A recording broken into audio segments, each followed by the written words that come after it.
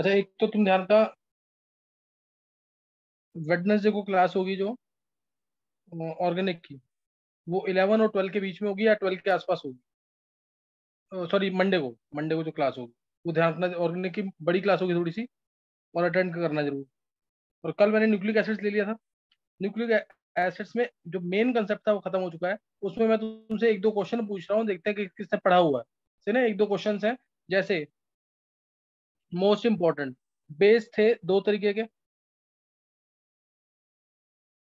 Base दो तरीके के थे प्यूरिन्स और पायरिमिडीन्स प्यूरिन्स और पायरिमिडीन्स मैंने इसका स्ट्रक्चर बेसिक स्ट्रक्चर बनाना दिखाया था। ये याद कर लिया तुमने कि नहीं? मैंने कहा था फाइव फाइव टाइम्स ड्रॉ कर लेना। अगर ड्रॉ नहीं करोगे तो फिर तुम सीख नहीं पाओगे स्ट्रक्चर्स कभी इसके। और हमेशा भूल जाओगे। मतलब ये याद नहीं रहेगा तुम्हें। नहीं आ रहा किसी को भी। देखो ये छेक रिंग थी। किसी को याद है? लक्ष्यता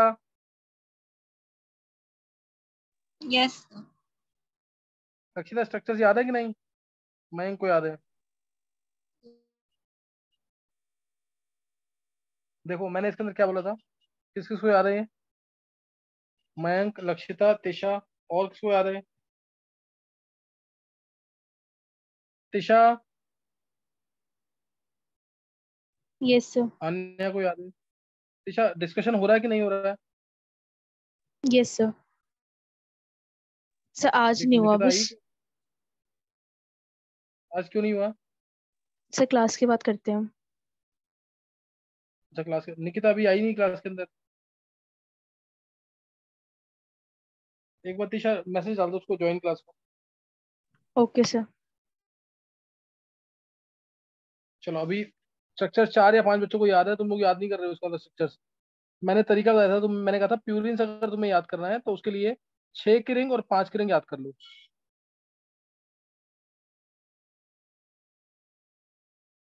छह की रिंग और पाँच की रिंग छह की रिंग में एन यहाँ आएगा एन यहाँ आएगा। इसमें भी एन एक तरह से मिरर इमेज टाइप का लेना है, या ये आ जाएगा। ये पार्ट हर किसी में होगा प्यूरिन्स के। दोनों प्यूरिन्स के लिए यानी ए और जी के अंदर ये ज़रूर होगा। दोनों प्यूरिन्स के अंदर ये ज़रूर होगा। वेदांत ये क्लियर है? वेदांत? यस क्लियर अब इसमें अगर मैं ऊपर लगा दूँ NH2 ध्यान देना।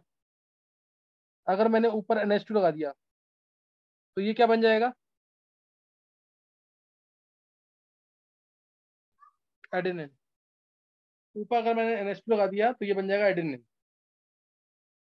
समझ गए कि नहीं है ऊपर एनएसपी लगा दिया तो क्या बन जाएगा? एडेनिन और एडेनिन से ही अगर तुम्हें ध्यान हो तो साइटोसिन ड्राइव किया था। मैंने कहा था साइटोसिन में भी छह की रिंग आएगी यही वाली। यही वाली छह की रिंग साइटोसिन में आएगी। इससे डिराइव हो जाएगा क्या? साइटोसिन साइटोसिन के लिए और मैंने आ, एक मिनट बस। ये NH2 और ये एन ये ले लिया? साइटोसिन इसी से ड्राइव होगा। मैंने तुम्हें बोला था कभी भी अगर मैं डबल बॉन्ड ब्रेक करता हूँ मैं जैसे ये वाला डबल बॉन्ड ब्रेक कर दूँ, ध्यान देंगे एक बार। मैंने इस डबल बॉन्ड को ब्रेक यहाँ से ये बॉन्ड हटा दिया। कोई भी बॉन्ड हटाता हूँ मैं अगर, कोई बॉन्ड हटाऊँगा, ये बॉन्ड हटाया अगर मैंने तो इसका मतलब एच लगाओगे और डबल बॉन्ड होगा ये ध्यान है कि नहीं है? अगर मैं एक पाई बॉन्ड तोड़ूँगा तो एन के साथ ऐसे लगा देना, सात वाले कारण पे डबल बॉन्ड होकर देना तो बस यही इसमें करना है तो साइटोसिन बन जाएगा। ये बन गया, ये बॉन्ड हटाया मैंने, ये एच लगाया और डबल बॉन्ड ये बन गया साइटोसिन। एक स्ट्रक्चर से सारे स्ट्रक्चर ड्राइव हो जाएँगे। विधान क्लियर हो गया साइटोसिन यस सर और अगर मेरे को बनाना है ग्वानिन एडेनिन बना दिया मैंने ग्वानिन बनाने के लिए ग्वानिन बनाने के लिए ये पार्ट तो पहले बना देंगे। छ की रिंग पाँच की रिंग एन पाँच की रिंग तो दोनों में सेम है ही। एन एच अब ये पार्ट था। ये है ना, यहाँ एन है, यहाँ पे एन है। अब ग्वानिन बनाने के लिए क्या करना था? याद है किसी को कि नहीं? ग्वानिन के लिए। सिर्फ़ तुम्हें यहाँ करना था NH2 और ऊपर क्या करना था? ये बॉन्ड हटा करके H और डबल बॉन्ड यही था कि नहीं?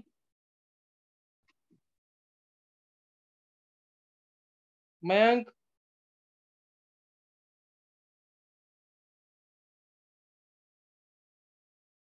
क्लियर है ये? यस सर हाँ, ये आना चाहिए तुम्हें। अब एडेनिन हो गया ग्वानिन हो गया साइटोसिन ये तीन ही स्ट्रक्चर्स इंपॉर्टेंट है और बाकी दो तो बहुत सिंपल है। छह की रिंग लेनी थी इसमें से। छह वाली रिंग ले लो बस सिर्फ़ ये हटा रहा हूँ मैं यहाँ से। जैसे ये ले ली छह की रिंग यूरेसिल थायमिन के लिए। यूरेसिल ये पाँच की रिंग बिठा दी। इसके लिए तुम्हें क्या करना है? सिंपल छह की रिंग ली एन हटाते रहो डबल वन हटाते रहो आंसर आ जाएगा। ये डबल वन था यहाँ पे। डबल वन हटाएँगे, क्या आ जाएगा उससे? ये डबल वन हटाया, ये एक हटाया। तो यहाँ आ गया double one O N H ये डबल वन हटाया। यहाँ पे double one O N H तो ये तो आ गया क्या? यूरेसिल यूरेसिल और थाइमिन बनाना है। थाइमिन में एम आ रहा है एम से याद रखना। ये बन गया थाइमिन एम ही लगा दो मिसाइल को ये थाइमिन बन गया। क्योंकि कल मैंने तुमसे क्वेश्चन पूछा था एक कि एडेनिन के अंदर कितने नाइट्रोजन है जो रेजोनेंस में पार्टिसिपेट करते हैं? यार आ गया क्वेश्चन नहीं है तो जिसको स्ट्रक्चर्स आते होंगे वही कर पाएगा। अगर तुम्हें बिल्कुल टॉप लेवल पढ़ना है तो स्ट्रक्चर्स करने पड़ेंगे। तो तुम्हें स्ट्रक्चर्स करने पड़ेंगे। वेदांत क्लियर हो गए स्ट्रक्चर सबके नहीं? Yes sir clear. हाँ तो इसको कर लेना ज़रूर। ये ना इंपॉर्टेंट है स्ट्रक्चर्स अच्छे लेवल पे करना है तो स्ट्रक्चर भी छोड़ना नहीं है। बाकी कल मैंने तुम्हें डाई न्यूक्लियोटाइड का स्ट्रक्चर बताया था। डाई न्यूक्लियोटाइड क्या किसी को याद है? कैसे बनाया था न्यूक्लियोटाइड हाँ वेदांत मयंक। सर साइटोसिन में आपने एक डबल बॉन्ड नहीं लगाया। नहीं लगाया? अच्छा मिस हो गया। चलो एक बार देख लेना। एक बार देख लेना. छह की रिंग लेनी थी ना एक बार मैं दोबारा देख लेता हूँ। साइटोसिन दोबारा देख लूँगा ये छह की रिंग ले ली।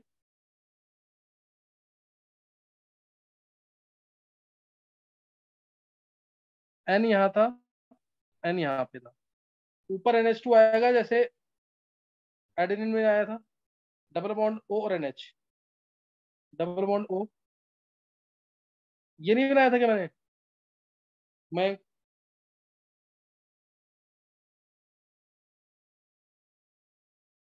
मयंक। यस सर अब सही है। चलो चलो एक बार देख लेना साइटोसिन का स्ट्रक्चर स्ट्रक्चर बनाने आने चाहिए एक दो बार प्रैक्टिस करोगे फिर मन में बोल लेना याद रहेगा। एडेनिन को बोलना है मन में। छह की रिंग पाँच की रिंग। दो एन छह की रिंग में दो एन पाँच की रिंग में लेकिन उसमें एक एनएच भी आएगा। और मिरर इमेज टाइप के एन लगाने हैं। मिरर इमेज टाइप के एन लगाने हैं। और उसके बाद उसके बाद तुम्हें क्या करना है? अगर ऊपर एन लगा दिया तो बन जाएगा एडेनिन तो बन जाएगा एडेनिन और अगर हमने कर दिया ऊपर NH और double bond O double bond तोड़ करके और एक NH2 और लगा दिया तो बन जाएगा ग्वानिन छह की रिंग पकड़ लेंगे से। छह की रिंग पकड़ लेंगे और सारे डबल बॉन्ड हटा देंगे। मतलब सारे डबल बॉन्ड एन के साथ वाले हटा देंगे। Double bond O N H double bond O N H तो बन जाएगा यूरेसिल और एक डबल बॉन्ड पे एम ई लगा देंगे तो बन जाएगा थाइमिन डायरेक्ट बोलोगे तब भी याद हो जाएँगे स्ट्रक्चर्स लेकिन बना के ज़रूर देखना, तभी मैंने कहा चार पाँच बार बना लेना स्ट्रक्चर्स उससे बहुत फ़ायदा होगा तुम्हें। फिर मैंने कल तुम्हें डाई न्यूक्लियोटाइड का स्ट्रक्चर भी बना के दिखाया था डाई न्यूक्लियोटाइड तुम्हें याद होगा डाई न्यूक्लियोटाइड जो था, उसके अंदर ऊपर अगर फाइव प्राइम खाली है तो नीचे जाकर अगर तुम देखोगे चेक करोगे तो नीचे थ्री प्राइम खाली होगा। एक स्टैंड में। याद आ गया कि नहीं ये? ऊपर फाइव प्राइम खाली है, नीचे थ्री प्राइम खाली होगा। ऐसे ही, जो दूसरी स्टैंड रन करेगी डीएनए के केस में तो वो ऐसे रन करेगी पैरेलल होगी। ऊपर अगर थ्री प्राइम होगा तो नीचे फाइव प्राइम होगा। ऊपर थ्री प्राइम तो नीचे फाइव प्राइम इसलिए डीएनए जो है डबल स्टैंडर्ड अल्फ़ा एक स्ट्रक्चर है। डिस्टेंस वगैरह जितने भी है, वो तुम ध्यान रख लेना। ये पैरेलल रन करती है, बस ये ध्यान रखना, ये पैरेलल होती है, ये पैरेलल होती है। ये इसके अंदर ध्यान रखना है। और और इसके अंदर दोनों स्ट्रैंड्स जो होती है कंप्लीमेंट्री होती हैं। पहले मैं स्ट्रक्चर बता देता हूँ, फिर देख लेते हैं। एक बार। एक बार स्ट्रक्चर बता देता हूँ, फिर देखते हैं बार। देखो स्ट्रक्चर ऑफ़ न्यूक्लिक एसिड्स के अंदर। ये याद रखना ज़रूर मैंने डाई न्यूक्लियोटाइड बताया। डाई न्यूक्लियोटाइड जो बताया है, उसमें एक ऊपर अगर फाइव प्राइम है खाली तो नीचे थ्री प्राइम खाली होगा। या ऊपर अगर थ्री प्राइम खाली है तो नीचे फाइव प्राइम खाली होगा। ये इसके अंदर ध्यान रखना ज़रूर। ठीक है, ये ध्यान रखना डाई न्यूक्लियोटाइड का स्ट्रक्चर मैंने बताया वो तुम्हें कि कैसे बनेगा। उसको ज़रूर कर लेना। और इसमें जो लिंकेज आती है, वो कौन सी होती है? न्यूक्लियोटाइड्स के अंदर लिंकेज कौन सी आती है?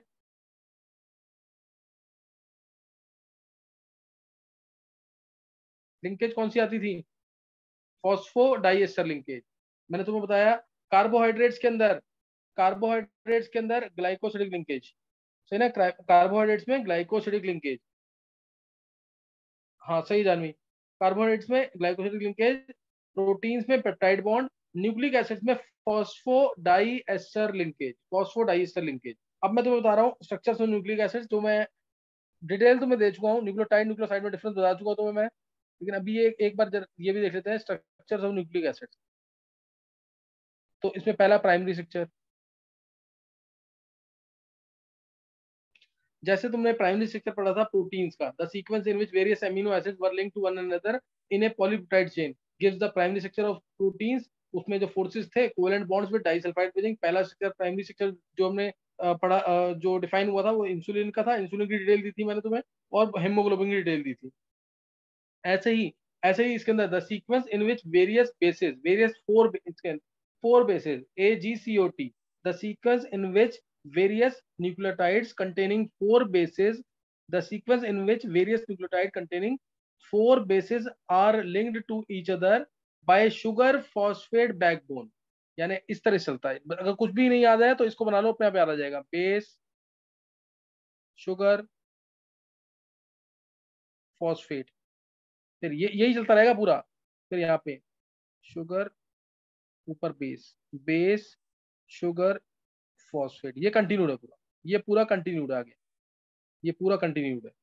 तो sequence in which the sequence in which various nucleotides ये एक न्यूक्लियोटाइड है बेस शुगर फॉस्फेट का। The sequence in which various nucleotides containing four bases are link to each other through sugar phosphate backbone ये sugar phosphate backbone ये sugar phosphate backbone तो ये देता है primary structure this will give the primary structure ये primary structure देगा secondary structure के अंदर। सेकेंडरी स्ट्रक्चर जो कि double helical structure of DNA के बारे में बताएगा सेकेंडरी स्ट्रक्चर सेकेंडरी स्ट्रक्चर इसके अंदर तुमने रूल्स पढ़े होंगे। शार्गव्स रूल और base pairing principle. Chargaff's rule क्या कहता है? शार्गव्स रूल कहता है, क्या, ये क्या कहता है कि number of moles of adenine जो है, हमेशा number of moles of thymine के इक्वल होगा। Number of moles of guanine हमेशा number of moles of cytosine के equal number of moles of adenine will be equal to number moles of thymine and number of moles of guanine is equal to number of moles of cytosine जो अगला rule आएगा, जो अगला rule है base pairing principal वो इसको define कर देगा कि क्यों इक्वल होते हैं। बेस पेयरिंग प्रिंसिपल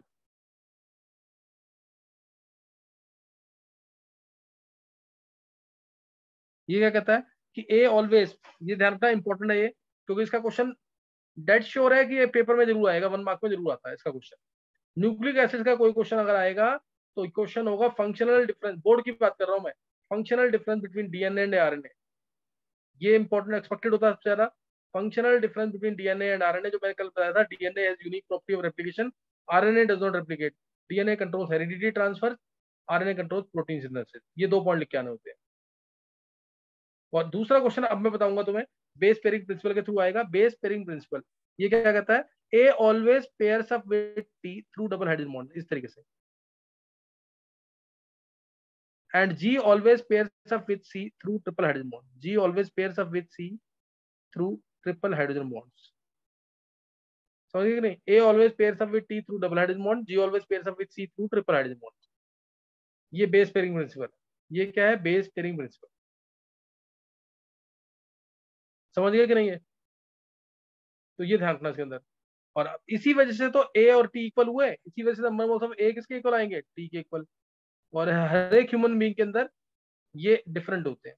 हर एक ह्यूमन बींग में डिफरेंट होते हैं। मिलियंस ऑफ़ एडेनिन होंगे मिलियंस ऑफ़ थायमिन होंगे, ऐसे ही जी और सी होंगे। ये सब डिफरेंट होते हैं। ये जी और सी क्या हो जाएँगे? इक्वल हो जाएँगे। जी और सी इक्वल हो जाएँगे। क्लियर है कि नहीं है? इसी वजह से इक्वल है, इसीलिए ऊपर शार्गव रूल आ गए। शार्गव रूल इसलिए आया। तो अब इसीलिए अब क्वेश्चन आता है the two strands in DNA are ident are identical और complementary the two strands in DNA are complementary and not identical the two strands in DNA are क्या है वो? वो दोनों कॉम्प्लीमेंट्री है आइडेंटिकल नहीं है। जैसे मैंने बोला, एक स्ट्रेंड रन कर रही है ऐसे। इस तरीके से। ये फाइव प्राइम से थ्री प्राइम रन कर रही है। तो दूसरी स्ट्रेंड रन करेगी इस तरीके से। ये इस तरह से करेगी यहाँ पे अगर ए है, यहाँ टी है जी है सी है टी है तो ए होगा। या तुम्हें खुद लगाना एक बार। एक स्टैंड पे अगर मैं तुम्हें दे दूँ, दूसरी स्टैंड पे खुद लगाओ। ए है टी है टी है सी है ए है टी है। ये दे दिया अगर मैंने एक स्टैंड पे। एक स्टैंड पे तुम्हें दे दिया है तो दूसरी स्टैंड पे क्या आएगा? एक स्ट्रैंड पे मान लो मैंने ए G C T A T A ऐसे दे दिया ये भी क्वेश्चन आता है। तो दूसरी स्ट्रैंड पे क्या आएगा? दूसरी स्ट्रैंड कॉम्प्लीमेंट्री होगी उस पर क्या आ जाएगा? क्या आएगा उस पर फिर कॉम्प्लीमेंट्री न्यूक्लियोटाइड कॉम्प्लीमेंट्री क्या आएगा? ए के साथ क्या आता है? टी जी के साथ क्या आएगा? सी सी के साथ क्या आएगा? जी जी टी के साथ ए ए के साथ टी टी के साथ ए और ए के साथ टी बस ये लगाना तुम्हें, ऐसे यहाँ पे ए था तो उस पर टी लगा देना। जी था तो सी लगा देना। ए है तो टी लगा देना। टी है तो ए लगा देना। टी है तो ए लगा देना। सी है तो जी लगा देना। और टी ए है तो टी और टी है तो ए ये इस तरह से लेगा। ये इस तरह से लेगा और ये दोनों लिंक होंगे through double hydrogen bond double hydrogen bond लिख के आना पेपर में ये गलती होती है डबल बॉन्ड लगाते हैं तो गलत हो जाएगा। Triple hydrogen bonds double hydrogen bond double hydrogen bond double hydrogen bond triple hydrogen bond यहाँ पे डबल हाइड्रोजन बॉन्ड आएगा और यहाँ पे भी डबल हाइड्रोजन बॉन्ड आएगा। समझ कि नहीं? है तो ये तुम्हें, ये क्वेश्चन आता है ध्यान रखना इस चीज़ का। छोटा सा क्वेश्चन है। एक जगह टी लगाना तुम्हें टी की जगह ए जी की जगह सी सी की जगह जी इसीलिए दो स्ट्रैंड जो है, ये वाली स्ट्रैंड और ये वाली स्ट्रैंड दोनों आइडेंटिकल है कि कॉम्प्लीमेंट्री है? अगर एक स्ट्रैंड पे हमें पता है कि क्या आ रहा है तो दूसरी स्ट्रैंड पे हम ऑटोमेटिकली निकाल लेंगे। यही डीएनए का डबल हेलिकल स्ट्रक्चर है जो बताया था मैंने। सही ना? द टू स्ट्रैंड ये क्वेश्चन सबसे इंपॉर्टेंट है। The two strands in DNA are complementary and not identical the two strands in DNA are complementary and not identical given statement is true this is according to base pairing principle ये लिख के आना तुम्हें। This is according to base base pairing principle which states that A always pairs up with T through double hydrogen bond, G always pairs up with C through triple hydrogen bond. ये लिख के आना paper के अंदर। Double hydrogen bond है triple hydrogen bond है। ध्यान रखना इसका डबल बॉन्ड और ट्रिपल बॉन्ड मत लिख के आ जाना डबल बॉन्ड और ट्रिपल बॉन्ड लिख के नहीं आना। समझे कि नहीं? तो ये तुम्हें इसके अंदर सेकेंडरी स्ट्रक्चर सेकेंडरी स्ट्रक्चर में करना है। फिर biological functions of nucleic acids biological functions of nucleic acids ये भी तुम्हें पता है इसके अंदर दो दो टर्म स्टडी करनी है तुम्हें। एक तो रेप्लिकेशन और दूसरा प्रोटीन सिंथेसिस उसमें भी कोई डिटेल नहीं है। तुम्हें बहुत सिंपल पढ़ना है। Biological functions of nucleic acids के अंदर। Biological function of nucleic acid पहला तो है रेप्लिकेशन रेप्लिकेशन डीएनए की यूनिक प्रॉपर्टी होती है रेप्लिकेशन की डीएनए की यूनिक प्रॉपर्टी होती है रेप्लिकेशन की रेप्लिकेशन क्या है the process by which a single DNA molecule ये एक सिंगल डीएनए मॉलिक्यूल है the process by which a single DNA molecule produces identical copy of itself. This is called as replication. The process by which a single DNA molecule produces identical copy of itself. अब जैसे DNA sample को DNA sample के सामने enzyme आएगा DNA replicases DNA replicases DNA replicases या फिर या फिर इसको मेल्टिंग टेम्परेचर मिला। डीएनए के सैंपल को मेल्टिंग टेम्परेचर मिला। मेल्टिंग टेम्परेचर क्या होता है? मेल्टिंग टेम्परेचर टीएम से डिनोट करते हैं। Melting temperature the temperature at which the two strands partially unwind and separate from each other temperature at which the two इसके ऊपर भी क्वेश्चन अभी केवीपी वाई में आया था, मैं बता रहा हूँ क्या क्वेश्चन अभी। The temperature at which the two strands in a DNA sample partially unwind and separate from each other this is called as melting temperature. ये melting temperature है। जैसे ही डीएनए के सैंपल को मेल्टिंग टेम्परेचर मिलेगा या DNA रेप्लिकेसेस enzyme आएगा तो ये दोनों स्ट्रैंड पार्शियली अनवाइंड कर जाएँगी। ये पार्शियली अनवाइंड कर जाएँगी। ये अनवाइंड हो गई। अब इससे क्या होगा? अब लेकिन डीएनए इसकी सैंपल की प्रॉपर्टी है। डीएनए के सैंपल की प्रॉपर्टी है ये सर एक बार टेम्परेचर का नाम दोबारा बताना। मेल्टिंग टेम्परेचर मेल्टिंग टेम्परेचर सही है? तो अब ये डीएनए के डीएनए की प्रॉपर्टी है कि ए के साथ टी आएगा ही आएगा और टी के साथ ए आए, आएगा ही आएगा इसीलिए ये अपने आप ही होगा ऐसा कि ए है तो यहाँ पे टी आ जाएगा। एक नई स्ट्रैंड बनेगी। ये पेरेंटल स्ट्रैंड है ये वाली। ये पेरेंटल स्ट्रैंड है। ये नई स्ट्रैंड बनी है जो राइट से शो कर रहा हूँ मैं अब। ए के साथ टी आएगा ही आएगा टी के साथ ए आएगा ही आएगा। डबल हाइड्रोजन बॉन्ड आ जाएगा पे आप। डबल हाइड्रोजन बॉन्ड और यहाँ पे नई स्ट्रैंड आएगी। टी के साथ ए आएगा। और इधर इधर हमारा ए था। ए था तो यहाँ टी आएगा ही आएगा। तो ये यही बोलते हैं कि आइडेंटिकल कॉपी बन गई। और इस तरह से पेरेंट्स से ऑफ़ में जो कैरेक्टरिस्टिक्स हैं, जो फीचर से ट्रांसमिट होते हैं। देखो, ये एक स्ट्रैंड ये है, एक पूरा चल रहा है डीएनए का सैंपल ये, एक सैंपल ये चल रहा है, और ये समझ आ गया तुम्हें? और इसके अंदर ध्यान रखना इस चीज़ का ए के साथ टी आया टी के साथ ए ऐसे ही इधर भी ए के साथ टी टी के साथ ए और तुम्हें दिख रहा होगा, एक एक स्ट्रैंड अगर पुरानी है, यानी एक स्ट्रैंड अगर पेरेंट्स की है तो एक स्ट्रैंड किसकी आई? ऑफ़ की। एक नई बनी है इसीलिए बोलते हैं DNA replication is semi conservative DNA replication is semi conservative क्योंकि एक पेरेंट्स की स्ट्रैंड है, एक पेरेंट्स की है तो एक ऑफस्प्रिंग्स की है। एक पुरानी है तो एक नई है। Only one half of the parental strand is conserve and a new one is synthesise ये रीजन लेना है इसका। ये रीजन लिखना है। Only why DNA replication is semi conservative because only one half of the parental strand is conserved and a new one is synthesized and a new one is synthesized therefore dna replication is semi conservative dna replication क्या है semi conservative ये तुम्हें ध्यान रखना है और दूसरा जो है सेकंड सेकंड जो मैं तुम्हें बता रहा हूँ वो है प्रोटीन सिंथेसिस प्रोटीन सिंथेसिस जो होता है it is done with the help of three types of R बस तुम्हें यही करना और कौन कौन से आर है, बस ये और कुछ नहीं करना डिटेल्स में। ना केमिस्ट्री में ट्रांसक्रिप्शन ट्रांसलेशन ये कुछ नहीं है। वो सब नहीं है, बस तुम्हें करना। Protein synthesis is done with help of three types of R कौन कौन से आर एन है? M R N A messenger R कहते हैं इसको। Transfer R N A T R N and R R N A ribosomal R बस तुम्हें ये करना है इसके अंदर। और कोई डिटेल नहीं करनी है। सही ना? और कोई डिटेल नहीं करनी है। तो बस यहीं तक करना है तुम्हें प्रोटीन सिंथेसिस तक। सही ना? ये यहीं तक करना है, और कोई डिटेल नहीं है। अब एक दो क्वेश्चन मैं तुम्हें बता रहा हूँ, वो वो नोट करना एक बार। जैसे क्वेश्चन है, मान लो एक डीएनए का सैंपल है, दो सैंपल है डीएनए के, एक सैंपल ए है, एक सैंपल बी है एक का मेल्टिंग टेम्परेचर है 350 केल्विन और एक का मेल्टिंग टेम्परेचर है 340 केल्विन तो तुम्हें बताना है, क्या कंक्लूजन मिलेगा regarding their base content what is the conclusion what conclusion can we get regarding the base content in both the DNA samples ये क्वेश्चन आया हुआ है। दूसरा क्वेश्चन है अगर आ, अगर किसी डीएनए मॉलिक्यूल के अंदर जैसे या कह सकते हैं एक ई डॉट कोलाई होता है ना ये क्या होता है बताना जरा? ई डॉट कोलाई ये बायो वाले बच्चों को पता होगा। बैक्टीरिया हम्म इसके अंदर इसके अंदर मान लो एटी बाय जीसी का रेशियो है। एटी बाय जीसी का रेशियो दे रखा है तुम्हें पॉइंट नाइन थ्री और दे रखा number of moles of adenine है 93,000 तो number of moles of number of moles of guanine कितने होंगे? निकाल लोगे कि नहीं?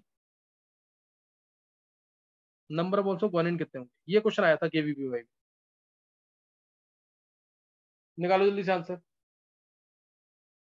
दोनों क्वेश्चन कर लो जल्दी से। फिर आगे थोड़ा सा मैं वाइटामिन के बारे में बताऊँगा चैप्टर खत्म हो जाएगा।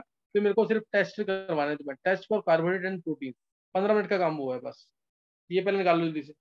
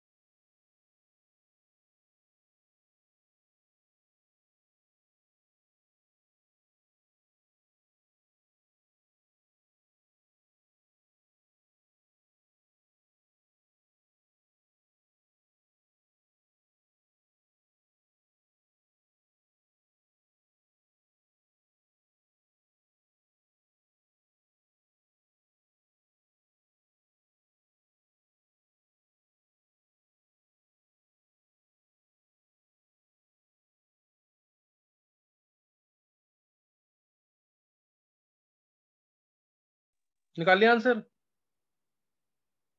किसने निकाला आंसर इसका?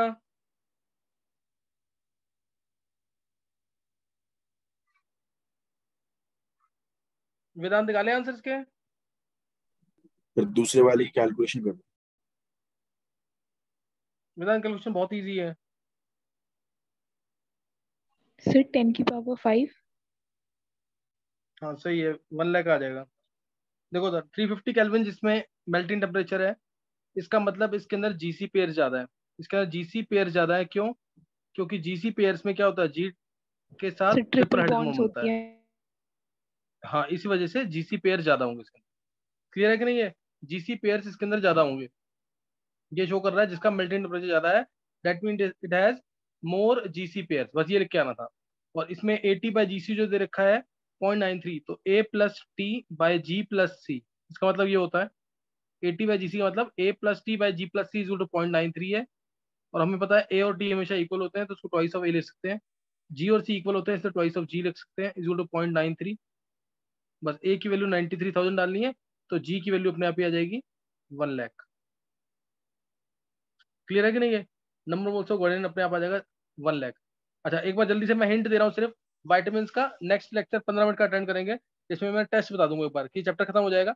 उसके तुम्हारा ये टेन कोई क्लास चलेगी तो ऑर्गेनिक की चलेगी क्लास अच्छा अभी मैं तुम्हें बता रहा हूँ वाइटमिन जल्दी से नोट कर लेंगे एक बार। सबको आता है, मुझे पता है, लेकिन एक बार बस टॉपिक कराना है, इसीलिए मैं तुम्हें बता रहा हूँ जल्दी से। बस पाँच मिनट बताऊँगा मैं। वाइटमिन वाइटमिन ध्यान रखना है, ये हमारी बॉडी से प्रोड्यूस नहीं होते पहले तो। बॉडी से प्रोड्यूस नहीं होते हैं सही ना? इनको बहुत कम अमाउंट में बाहर से लेना पड़ता है फॉर सम मेटाबॉलिक एक्टिविटीज़ कुछ बायोलॉजिकल फंक्शनिंग के लिए स्पेसिफिक बायोलॉजिकल फंक्शनिंग के लिए हमें वाइटामिन की रिक्वायरमेंट होती है। है वाइटामिन की requirement have to be taken from outside source तो अब इसमें ये ध्यान रखना है कि इसके अगर वाइटामिन की डेफिशिएंसी होगी वाइटामिन की डेफिशिएंसी हो, पहले मैं लिखता हूँ कि दो तरीके के वाइटामिन होते हैं, एक होते हैं वाटर सोल्यूबल और एक होता है fat soluble water soluble fat soluble water soluble B और सी होते हैं. बी बी कॉम्प्लेक्स और सी बी कॉम्प्लेक्स और सी और फैट सोल्यूबल में कीड़ा वर्ड याद होगा तुम्हें? के ई डी ए या ए डी ई के कैसे भी याद कर लो।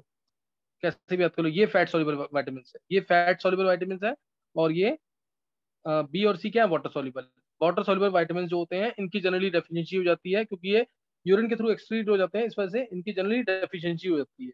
और अगर वाइटामिन की डेफिशिएंसी होगी तो बोलेंगे ए विटामिनोसिस तो क्या आएगा? A their deficiency deficiency will cause avitaminosis इससे विटामिनोसिस हो जाएगा और अगर एक्सेस में हो जाएँगे, जो फैट सॉल्युबल है, वो तो बॉडी के अंदर रहते ही हैं जनरली रहते हैं वो बॉडी के अंदर जनरली वो रहते हैं बॉडी के अंदर तो इससे अगर मान लो एक्सेस ए का हो जाए या डी का हो जाए एक्सेस ए का हो जाए या डी का हो जाए, इन्हीं का ज़्यादातर एक्सेस होता है। हालाँकि आजकल तो ये कम मिलता है ह्यूमन बींग्स में तो उससे होता है हाइपर विटामिनोसिस तो उससे क्या हो जाएगा? हाइपर विटामिनोसिस ये पूछा हुआ है बोर्ड में एक बार बता दिया मैंने। इससे हो जाएगा हाइपर विटामिनोसिस सही ना? हाइपर विटामिनोसिस और बी वन टू ध्यान रखना एक्सेप्शन है B one two B one two exception है। ये है तो वाटर सोल्यूबल के अंदर है, लेकिन फिर भी महीनों तक ये बॉडी के अंदर रहता है। महीनों तक ये बॉडी के अंदर रहता है तो इसलिए एक्सेप्शन में ही काउंट होता है बी और सी के अंदर B one two vitamin B one two सही ना? और जो ए और डी है जनरली वो लीवर में स्टोर होते हैं। फैट स्टोरिंग टिश्यूज कौन से मैंने कल भी पूछा था तुमसे। Fat storing tissues in the body याद है कि नहीं है कौन से थे? फैट स्टोरिंग टिश्यूज नहीं ध्यान। ये एनसीआरटी एग्जांपल में देखा करना तुम्हें ये। Fat storing tissues in the body liver and liver हाँ लिवर एंड एडिपोज टिश्यू ये याद रखना इसको। सही ना? ये याद रखना तुम्हें। तो ये जो तुम्हें बताया मैंने अभी इसको ध्यान रखना है। वाइटामिन बी वन टू वाला केस याद रखना है। वाइटामिन बी वन टू वाला केस कि ये एक्सेप्शन है है तो ये water soluble but it can then also be stored for stored for months अब है, अब इसमें तुम्हें वाइटामिन के केमिकल नेम और डिसीजेज ये तुम्हें पढ़ना है। जैसे वाइटामिन ए है वाइटामिन ए वाइटामिन ए तो अगर इस, इसका केमिकल नेम याद रखना है रेटिनॉल होता है। केमिकल नेम इसका रेटिनॉल है। सही है केमिकल नेम इसका क्या है? रेटिनॉल और रेटिनॉल यानी रेटिना से रिलेटेड है, यानी आइस से रिलेटेड है। तो इसकी अगर डेफिशिएंसी होती है तो नाइट ब्लाइंडनेस होता है, जिसको जेरेप्थलीमिया कहते हैं। जिसको जेरेप्थलीमिया कहते हैं, अगर इसकी डेफिशिएंसी होगी। और इसमें हमें पता है कि आँखों के लिए बोलते हैं ना कि गाजर खाना चाहिए तो क्या कहते हैं कैरेट्स इसका बेस्ट सोर्स है। कैरेट्स क्या है? कैरेट्स है अदरवाइज़ फ़िश लिवर ऑयल वगैरह है या बटर वगैरह है, ये भी है मिल्क वगैरह भी है, लेकिन कैरेट्स इसके लिए जनरली लेते हैं। नाइट ब्लाइंडनेस इसकी डेफिशिएंसी डिसीज है। ठीक है ना? जेरोप्थलीमिया या फिर नाइट ब्लाइंडनेस अच्छा ये आ गया वाइटामिन ए और केमिकल नेम याद रखना रेटिनॉल क्योंकि इसके ऊपर क्वेश्चन आईआईटी मेन से भी आया हुआ है। मेडिकल वाले बच्चे तो उनको रटा पड़ा हुआ है वाइटामिन ए हो गया वाइटामिन बी वाइटामिन बी में vitamin B one B one जो है थाइमिन इसका केमिकल नेम अभी 2020 में पूछा हुआ है। 2020 में पूछा हुआ इसका केमिकल नेम थाइमिन इसका केमिकल नेम है थाइमिन थाइमिन इसका केमिकल नेम है। और इसमें भी सोर्स ग्रीन लिफी वेजिटेबल्स और मिल्क होएगा। और डेफिशिएंसी डिसीज इसकी बेरी बेरी है। ठीक डेफिशिएंसी डिसीज क्या? बेरी बेरी जैसे बेरी बेरी मतलब लॉस ऑफ़ एपिटाइट भूख ज़्यादा लगना या कम लगना उस टाइप से। तो ये है विटामिन बी बी वन जो है इसका केमिकल नेम थाइमिन है। डिसीज इसकी बेरी बेरी है डेफिशिएंसी डिसीज क्या? बेरी बेरी है। Loss of appetite retarded growth होता, है इसके अंदर retarded growth vitamin B one हो गया B two vitamin B two B two इसमें केमिकल नेम याद रखना राइबोफ्लेविन राइबोफ्लेविन राइबोफ्लेविन इसका केमिकल नेम है। अच्छा कौन सा ऐसा वाइटामिन है जो neither fat soluble nor water soluble है?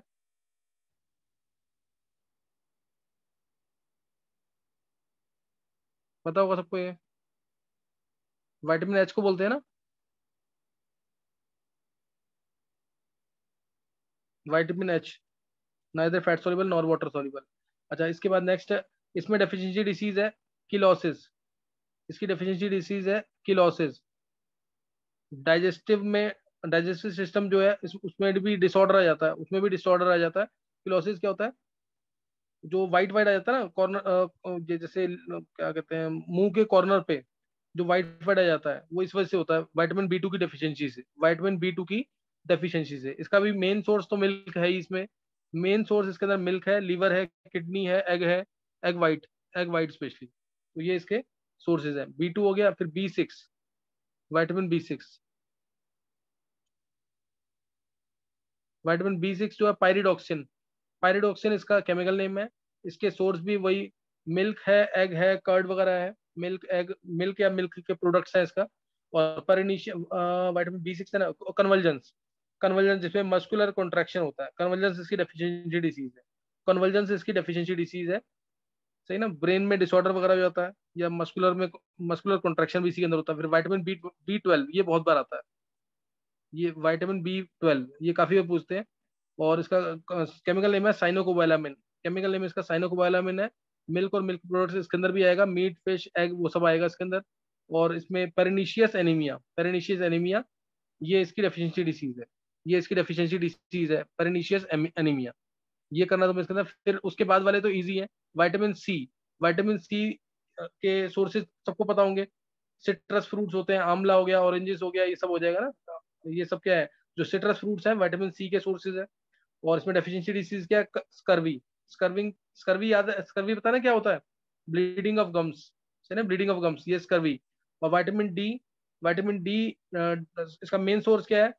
विटामिन डी जिसका केमिकल नेम है सनलाइट कैल्सीफेरॉल हाँ मेन सोर्स इसका सनलाइट है कैल्सीफेरॉल सही ना? कैल्सीफेरॉल वो एग यॉक वगैरह भी एग यॉक एग वाइट नहीं एग यॉक भी इसका मेन सोर्स है. एग यॉक भी इसका मेन सोर्स है और स्कर्वी विटामिन डी में rickets in child and osteomalacia adult bones जो है सॉफ्ट हो जाती है.